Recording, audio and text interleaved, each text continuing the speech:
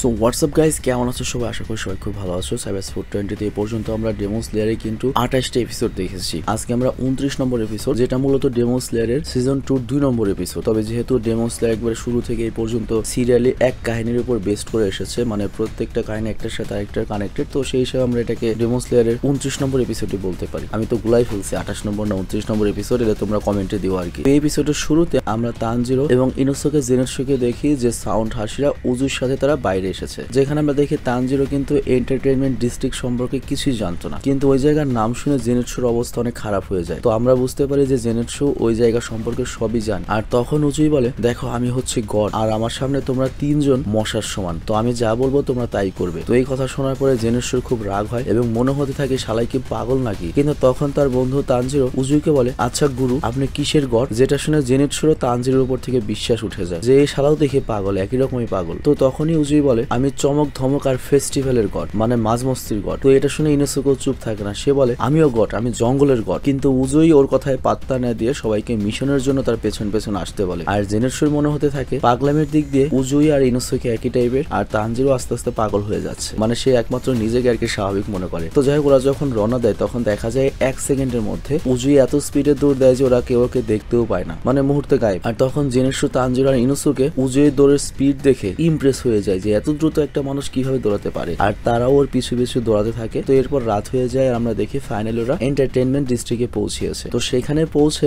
উঁচুই সবাইকে বলে, আমার অনুমতি ছাড়া কেউ কোথাও যাবে না। সবাই আমার সাথেই থাকবে। কিন্তু এই কথা বলার আগে আমরা দেখি জেনেটসু আর ইনোসুকে দুজন দুই দিকে যেতে লাগে শহর দেখার জন্য। তো তানজিরো তাদের আটকানোর ট্রাই করে, কিন্তু তানজিরো কিছু করার আগে আমরা দেখতে পাই উজুই চোখের পলকে ওই দুজনের ঘাট ধরে আবার তার কাছে নিয়ে আসে। তো যাই হোক ইনোসুকে জেনেটসু আর তানজিরো এই জায়গাটি দেখে পুরো শক্ট হয়ে যায়। কারণ এই জায়গাটি দেখতে পুরো স্বর্গের মতো লাগছিল, চারদিকে শুধুমাত্র আলো আর আলো আর মেয়ে আর মেয়ে। তো উজুই তখন সবাইকে বোঝায়, এটা হচ্ছে ইউশিবারা এন্টারটেনমেন্ট ডিস্ট্রিক্ট। তো তার চোখের সামনে রাতে এত মানুষের সমাগম দেখে অবাক হয়ে যায়। এবং সে করে কি তার মাথা দিয়ে সবাইকে টক্কর দিতে যায় যে, আয়, দেখি কার মাথা শক্ত বেশি। কিন্তু উজুই তাকে ধরে নিয়ে আসে। আর তখন তানজিরিকে জিজ্ঞেস করে, ওই হলুদ চুলের ছেলেটা কই? তো তখন আমরা দেখতে পাই জেনেটসু সে একটা বিল্ডিং অনেক সুন্দরী সুন্দরী মেয়েকে দেখতে পেয়েছে, সেখানে চলে গিয়েছে। আর ওই মেয়েরও জেনেটসুকে তাদের কাছে ডাকছিল। মানে বুঝতেই পারছে এগুলো আর কি প্রস্টিটিউট তো উজুই করে কি তখন জেনেটসুকে মুহূর্তে ধরে নিয়ে আসে এবং বলে, তুমি এখন এসবের জন্য অনেক ছোট। আঠারো বছর আগে পার হোক। যাই হোক, এরপর উজুই সবাইকে বলে, এই শহর দিনের বেলা অনেক ভয়ানক রূপ ধারণ করে, কারণ দিনে এখানে কোনো মানুষ দেখা যায় না। কিন্তু রাত হলে এই শহরে আলো আর আলো আর জমজমাট হয়ে যায়। আর এটা ডিমন্সদের জন্য অনেক ভালো ব্যাপার, কারণ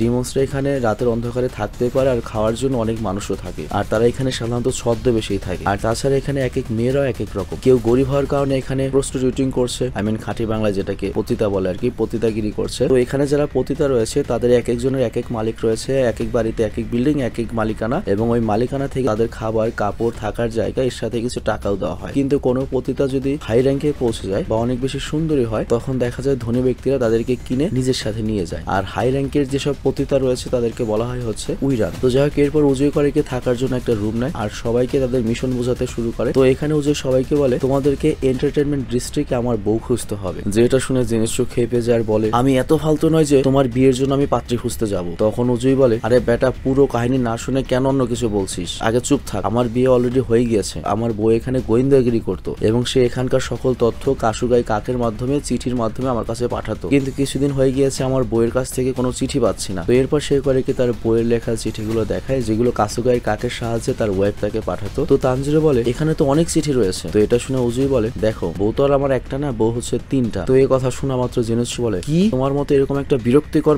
মানুষের তিনটা বউ। এই কথা শুনে ওজোর রাগ হয়ে যায় এবং সে করে কি জেনেটসুকে একটা ঘুষি মারে। আর এটা দেখে বাকি দুজন চুপ হয়ে যায়। আর তারপর আমরা জানতে পারি উজোর তিনজন বই মূলত হাই র্যাঙ্কের পতিতাও এর সাথে নিনজাও মানে ওরা যেমন হাসিরা, ওরকম নিনজাও মনে করো ফাইটিং টেকনিক জানে। মানে চাইনিজদের হচ্ছে ক্যারাটে বা কুংফু আর জাপানিদের যে ক্যারাতে ওটাকে বলা হয় নিনজা তো যাই হোক, এখানে উজুই আরও বলে যে, আমি যখন এন্টারটেনমেন্ট ডিস্ট্রিক্টে এসেছি, তখন আমি ডিমন্সের কোনো খবরই পাইনি। আর এর জন্য আমি আমার বউদেরকে ছদ্মবেশে এখানে ঢুকিয়ে রেখেছিলাম। যাতে তারা খবর বের করতে পারে যে, কোথায় কোন ডেমন মানুষ সেজে রয়েছে। তো টোকে হাউস নামে যে বিল্ডিং রয়েছে, সেখানে আমার সুমা বউ ছিল, আর ওহিমোটো হাউসে ছিল মাকেও, আর কেউগুকো হাউসে ছিল হিনাটসুরু। তো এটা শুনে ইনোসুকো বলে, কি জানি, ওরা হয়তো মরে গিয়েছে এর জন্য হয়তো চিঠি দেয় না। আর এই কথা শুনে উজুর আরও রাগ ওঠে, এবং সেই ইনোসুকে আরও জোরে ঘুষি মারে, যার ফলে ইনোসুকেও জেনেটসুর উপর গিয়ে পড়ে এবং অজ্ঞান হয়ে যায়। তো যাই হোক, এখন উজুই বলে, আমি যদি ডাইরেক্ট সবার সামনে ডিস্ট্রিক্টে ঢুকি, তাহলে সবাই সতর্ক হয়ে যাবে। আর এই জন্য আমি চাই, তোমরা তিনজন রূপ বদলে এখানে ছদ্মবেশে যাবে, এবং এখানকার খোঁজ খবর জেনে তারপর আমাকে বলবে, তার তারপর আমি আক্রমণ করব। আর তখনই আমরা দেখি এই রুমের যে রুম সার্ভিস সে আসে এবং উজুইকে বলে, আপনি যে জিনিসটা আনতে বলেছিলেন, সেটা আমি সব এনে রেখেছি। তো এখানে কি এনেছে আমরা কিন্তু বুঝতে পারি না। আর এই জিনিসগুলো এনেছে হচ্ছে তানজিরো জেনেটসু আর ইনোসুকের জন্য। তো এরপর সিন শেফট হয়, আমরা দেখি ওদেরকে নিয়ে টোকি হাউসে নিয়ে যাওয়া হয়। মানে যে হাউসে ওর বউ সুমা ছিল। তো টোকি হাউসে যখন নেয়, তখন আমরা দেখি যে উজোর সাথে তিনটা মেয়ে রয়েছে। তো ভালো করে খেয়াল করলে আমরা বুঝতে পারি যে এটা তো তানজিরো জেনিটসু আর ইনোসুকে। ওদেরকে মেকআপ করে মেয়ে বানানো হয়েছে। আর মেয়ে এজন্যই বানানো হয়েছে যাতে টোকিও হাউসে বা যে তিনটা হাউস রয়েছে, যেখানে সাউন্ড হাসিরার বউরা গিয়েছিল, সেই জায়গাতে ওদের ঢুকিয়ে দিয়ে ওখান থেকে তথ্য বের করতে পারে তার বইয়ের কিন্তু টোকিও হাউসের যে মালিক মানে খাঁটি বাংলা যাকে বলে পতিতাদের দালাল, সেই তিনটা মেয়ে দেখে পছন্দ করে না। বলে, কি বিশ্রী মেয়ে নিয়ে এসেছ? কিন্তু উজুই তখন তার সুন্দর চেহারা দিয়ে কারিশমা মার্কা হাসি দিয়ে ওই হাউসের ওনারকে পটিয়ে ফেলে। যে কারণে তারা তানজিরোকে নিতে রাজি হয়ে যায়। কিন্তু বাকি দুজন রয়ে যায়। তো এটা দেখে উজুই বলে, তোমাদের যে বিশ্রী চেহারা, তোমাদের অন্য কোনো হাউসে যদি ঢোকাতে যাই, দেখা যেতে পারে টাকা তো আমাকে দেবেই না, উল্টো আমাকে টাকা দিয়ে তোমাদেরকে, তাদেরকে দিতে হবে। তো এখানে আমরা দেখি জিনিসুর কিন্তু খুবই বিরক্ত লাগছিল উজুর ওই মিশনটাতে। আর তখন ওখানে ইনুসুকি একটা জায়গা অনেক ভিড় দেখতে পায়। আর এরপর সে যখন ভিড়ের কাছে যায়, তখন দেখে টোকিয়া হাউজের কোইনাটসু তার নতুন ক্লায়েন্টের কাছে যাচ্ছে। তো এটা দেখে ইনুসুকে, জেনেটসুকে জিজ্ঞেস করে, এটাই কি সাউন্ড হাসিরা উজুয়ের ওয়াইফ আর তার বাকি দুজন ওয়াইফও কি এত সুন্দর? যা শুনে উজুই বলে, আরে গাধা, আমার ওয়াইফের যদি খোঁজ থাকতো, তোদেরকে নিয়ে তাহলে কেন ছদ্মবেশে মিশন করব? এই কথা বলে রেগে সে জেনেটসুকে একটা ঘুষি বসিয়ে দেয়। আর তখন সেখানে ইনোসেকের কাছে একটা মহিলা আসে এবং সেই ইনোসেকে পছন্দ করে কিনে নিয়ে যায়। তো ওই লেডিটা ছিল হচ্ছে ওগিমোটো হাউসের ওনার আর ওই হাউসে কিন্তু সাউন্ড হাসিরার ওয়াইফ মাকিও ছিল। তো যাই হোক, সবকিছু সাউন্ড হাসিরার কিন্তু প্ল্যান মতোই চলছিল। তো এরপর আমরা দেখি ইনোসেকে চলে যাওয়ার পর উজুই জেনেটসুর দিকে তাকায়। আর তখন জেনেটসুর মনে হয়, তিনজনের মধ্যে আমাকেই শুধুমাত্র কেউ নেয়নি। আমি কি দেখতে এতই খারাপ? আর অন্যদিকে আমরা দেখি, ওগিমোটো হাউসের ওনার করে কি ইনোসেকের মুখের যে মেকআপ ছিল সেটা ধুয়ে দেয়। তো মেকআপ ফেলে দিলে দেখা যায় ওকে আরও বেশি সুন্দর লাগে। মানে নর্মালি ছেলে হিসেবে অনেক বেশি সুন্দর আর কি। তো যেহেতু মেয়ে সেজেছে আরও বেশি মন্টিরয়ের মতো লাগছে। তো ইনোসেকের এই চেহারা দেখে ওই হাউস ওনার অনেক খুশি হয় এবং ওখানকার সবাই ইনোসেকে অনেক সুন্দর একটা মেয়ে ভাবতে শুরু করে। মানে বুঝতেই পারছ মন্টিরা যখন রাস্তাঘাটে শাড়ি পরে বের হয়, কোন পোলায় পাগল হইব না ভাই। তো ইনোসেকের ক্ষেত্রে ওরকম ঘটেছে। আর অন্যদিকে আমরা দেখি জেনেটসুকে ইউগোকা হাউসে নেওয়া হয় এবং সে যখন এখানে আসে তাকে সেমিজেন বাজাতে দেওয়া হয়। কিন্তু এই জিনিসগুলো তার ভালো লাগছিল না, কারণ ও তার মেয়ে নয়, এত ধৈর্য তার ওর নেই। তো ওর করে কি প্রচণ্ড রাগ ওঠে এবং ও করে কি সেমিসেনকে গিটারের মতো বাজানো শুরু করে। কিন্তু এখানে আমরা জানি ওর শ্রবণ শক্তি কিন্তু অনেক বেশি। তো শ্রবণ শক্তি বেশি হওয়ার কারণে সে আশেপাশের মেয়েরা ফিস ফিস করে কি আলাপ করছে সব শুনতে পায়। আর ওখানে ওই মেয়েরা বলা বলি করছিল যে, এই মেয়েটিকে যে নিয়ে এসেছে, সেই ছেলেটি অনেক হ্যান্ডসাম ছিল। আর এই কারণেই আমাদের মালিক ওই মেয়েটিকে নিয়েছে তা না হলে মেয়েটি দেখতে যে ভয়ানক, আর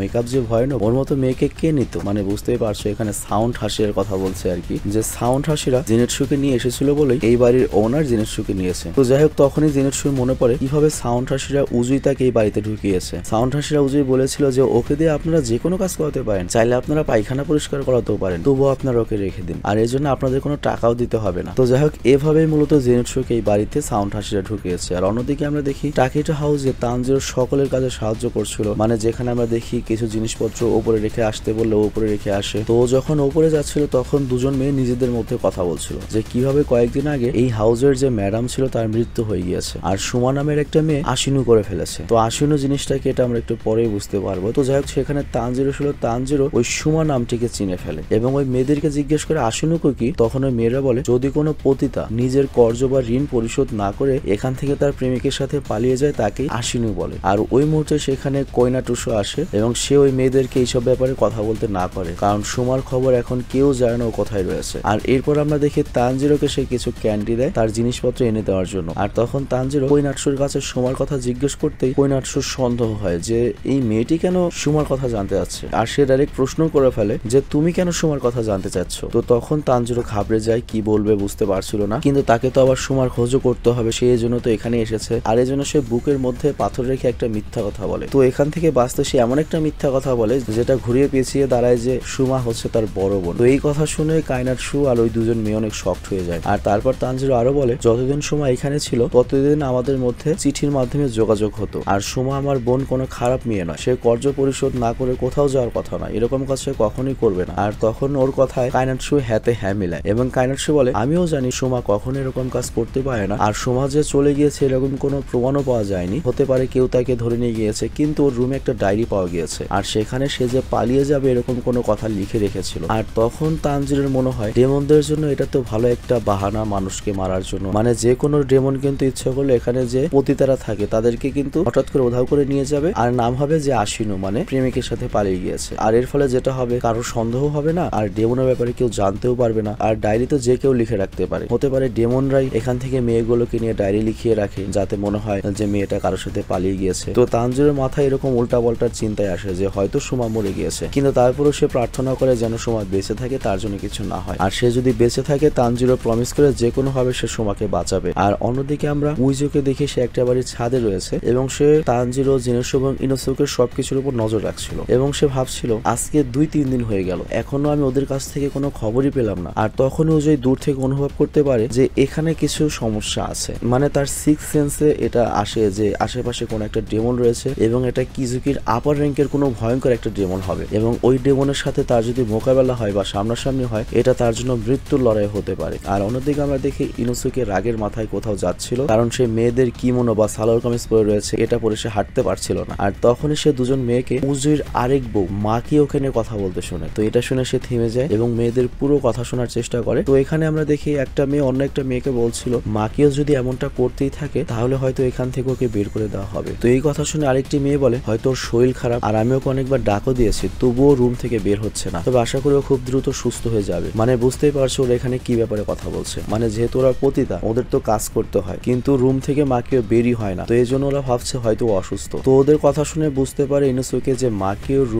কোনটা এবং তারপর সে করে কি মাকিওর রুমের দিকে যেতে থাকে। কিন্তু তখন সে পুরুষদের মতো হাঁটতে থাকে। যা দেখে ওই মেয়েরা বলে, এই ওভাবে হাঁটছো কেন? ভালো মতো হাঁটো, সাবধানে হাঁটো, তা না হলে তুমি পড়ে যাবে। কিন্তু অনুসুকে ওদের কথা কোনো জবাব না দিয়ে ওর মতো হেঁটে সামনের দিকে এগিয়ে যেতে লাগে। আর তাছাড়া উজুই বলেছিল, ভুলেও কিন্তু কখনো মুখ খুলবে না, কথা বলবে না। কারণ তোমাদের যতই মেয়ে সাজাই, তোমাদের কণ্ঠ কিন্তু ছেলে আর তাছাড়া বিশেষ করে তোমার কণ্ঠ তো একটা বর্ণ সুর, মরে যাওয়ার সময় যেরকম শব্দ হয়, সেরকম কণ্ঠ তোমার। আর অন্যদিকে আমরা মাকে রুমের ভেতরে দেখতে পাই যেটা অনেক অন্ধকার ছিল। আর তার সাথে অনেক ওখানে রিবন ছিল। আর তারপর আমাদের মাকে ওকে দেখানো হয় যে কিনা ওই রিবন দিয়ে বাধা ছিল। আর তখনই আমরা একটা ডেমনের আওয়াজ শুনতে পাই যে কিনা বলছিল মাকিও এই চিঠিগুলো তুমি কাকে পাঠাতে? তুমি কি এটা আমাকে বলবে? তো এটা দেখে আমরা বুঝতে পারি মাকিও অ্যাকচুয়ালি বিপদে রয়েছে এবং একটা ডেমন তাকে ধরে ফেলেছে এবং তাকে টর্চার করে তথ্য বের করার চেষ্টা করছে যে মাকিও চিঠি কাকে পাঠাতো। আর অন্যদিকে আমরা দেখি ইনুসুকে কিন্তু মাকিওর রুমের কাছে প্রায় পৌঁছে গিয়েছে। দরজাটা খুললেই সে মাকিওর এই অবস্থাটা দেখতে পাবে। তো এরকম একটা ক্রিটিক্যাল মুহূর্তের সাথে এই এপিসোডটি শেষ হয়ে যায়। তো যাই হোক ডেমন স্লেয়ারের মধ্যে পুরো কিন্তু আমরা ঢুকে গিয়েছি। আর এছাড়াও অনেক নাম করা জাপানিজ এনিম রয়েছে, যেগুলো আমরা একে আনার চেষ্টা করব। তবে সবগুলো তো আর র্যান্ডম অ্যানিমেশনে দেওয়া পসিবল নয়। আমাদের যে আরেকটা চ্যানেল রয়েছে অনলি জাপানিজ সেখানে কিন্তু অলরেডি